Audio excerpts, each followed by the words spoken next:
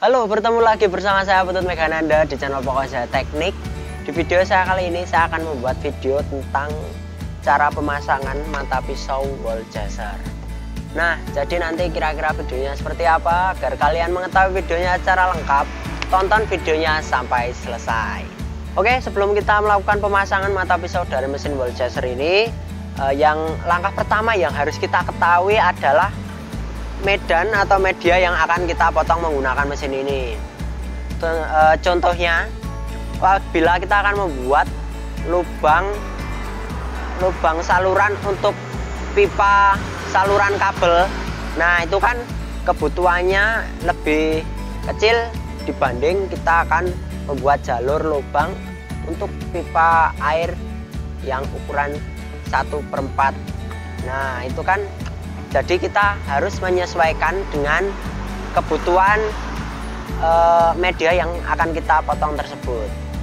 Jadi setelah e, kita telah mengetahui media yang akan kita potong, baru kita bisa menyesuaikan mata pisau yang akan kita gunakan.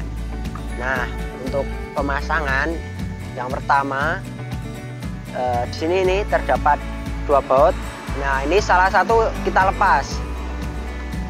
Fungsinya karena di uh, untuk pemasangan mata pisau di sini penguncinya dilindungi oleh covernya ini. Jadi ini kita buka terlebih dahulu menggunakan dry plus atau bisa juga menggunakan dry main. Jadi langsung saja ini kita buka terlebih dahulu. Nah, setelah nanti ini bautnya sudah terlepas, uh, selanjutnya di bawahnya ini ada penapak ya. Nah penapaknya ini juga harus kita lepas karena kalau tidak kita lepas nanti juga mempersulit ketika kita akan melakukan pelepasan pengunci mata pisau dari, dari wall chaser ini. Jadi selanjutnya langsung saja kita melepas terlebih dahulu ini cover penutup pengunci mata pisau wall chaser. Dan langsung juga nanti kita lepas ini ya uh, penapaknya agar mempermudah kita ketika melakukan pelepasan pengunci, pelepasan pengunci mata pisau mesin wall chaser. Jadi langsung saja ya menggunakan dry main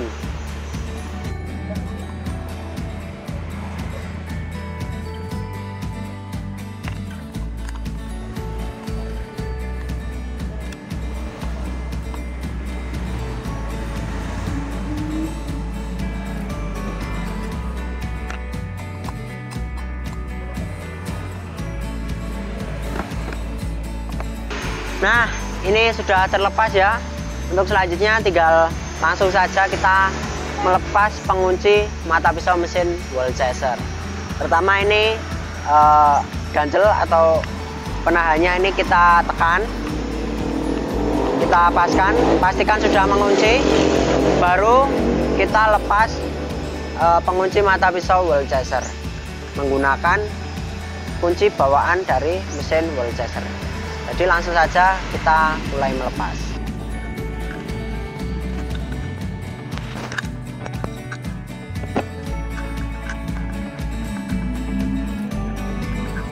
Nah setelah pengganjalnya ini sudah terlepas tinggal kita sesuaikan pemasangan mata pisau sesuai dengan kebutuhan media yang akan kita potong.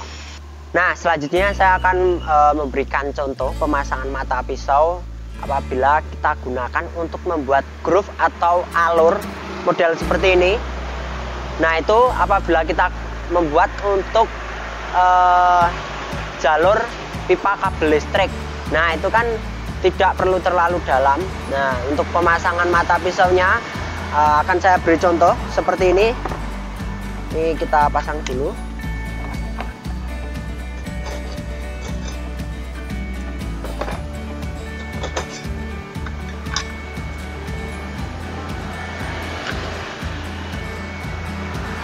Nah, modelnya seperti ini ya. Uh, ini uh, bisa digunakan untuk memotong pipa untuk kabel listrik. Tapi kalau misal kabel listriknya itu uh, yang ukurannya masih terlalu kecil, ini bisa kita kurangi lagi mata pisaunya agar uh, tidak terlalu lebar. Dan ini bisa memotong hingga kedalaman 3 3 cm ya ini nah apabila kalian ingin membuat uh, jalur untuk pipa listrik tetapi tidak memerlukan uh, kedalaman yang tidak terlalu dalam langsung model seperti ini pemasangan mata pisaunya itu sudah bisa untuk digunakan. Nah dan apabila kalian ingin memotong tetapi memotong atau membuat jalur untuk pipa listrik atau pipa air tetapi membutuhkan lubang yang uh, ukurannya cukup dalam. Nah ini caranya seperti ini. Mas saja saya tunjukkan ya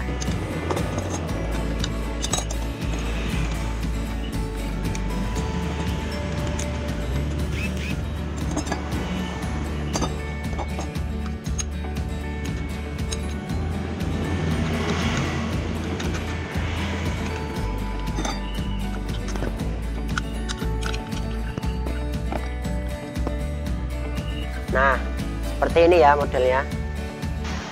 Saat kita sudah membuat garis menggunakan ini.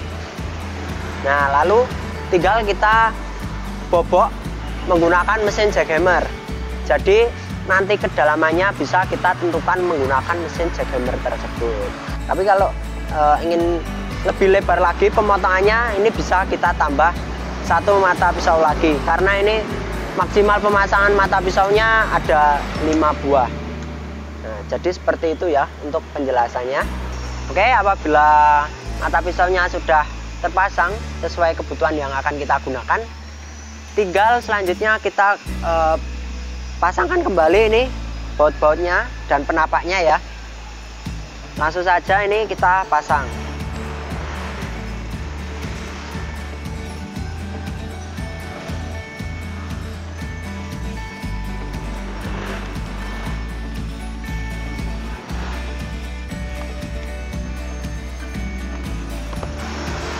Oke, setelah sudah terpasang semua, selanjutnya mesin wall chaser ini siap kita gunakan untuk mempermudah pekerjaan kita.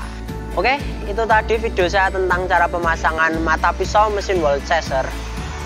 Dan uh, apabila kalian ada kritik saran, bisa tulis di kolom komentar dan apabila dalam penyampaian saya juga masih ada sedikit yang kurang atau mungkin kalian juga memiliki uh, sesuatu yang bisa kita bagi bisa juga tulis di kolom komentar.